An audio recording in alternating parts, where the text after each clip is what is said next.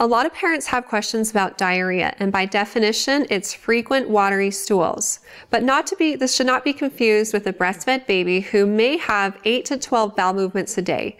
It's normal for their stool to be like yellowish in color and to have little particulates that look like seeds in them.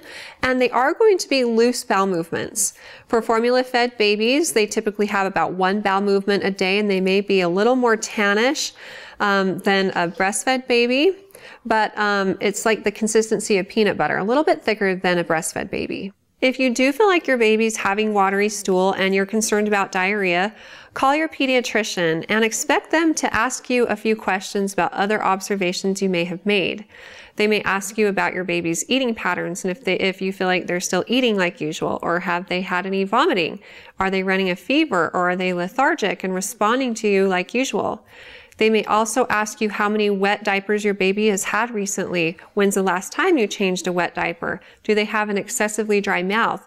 These can be signs of dehydration and a baby who has diarrhea can become dehydrated quickly. And so one of the things you can do while you're trying to contact the pediatrician is just to increase the number of feedings you're giving your baby, whether this be breast milk or formula. And the pediatrician will address the underlying cause for the diarrhea as well as dehydration if your baby has gotten to that point.